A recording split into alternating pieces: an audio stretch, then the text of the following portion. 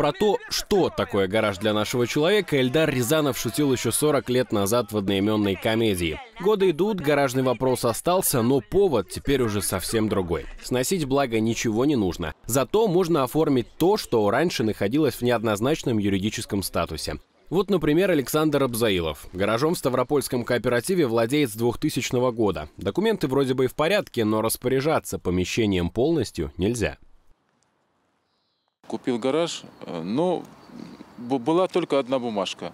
Свидетельство о праве собственности на землю, пожизненно наследуемое владение. Все. Обращался в МФЦ, они говорят, что вот эта бумажка пожизненно наследуемая, передается гараж, вы не можете продать, только по ну, может, может ваши э, наследники могут унаследовать там. Как раз на такие случаи и предусмотрен новый закон о гаражной амнистии. Для тех, кто в свое время получил помещение от государства или предприятия, есть возможность бесплатно оформить земельный участок в личную собственность. Это касается гаражей, построенных на государственной или муниципальной земле до 30 декабря 2004 года. Раньше, когда строились данные объекты, они могли находиться в гаражных кооперативах и выдавались соответствующие документы.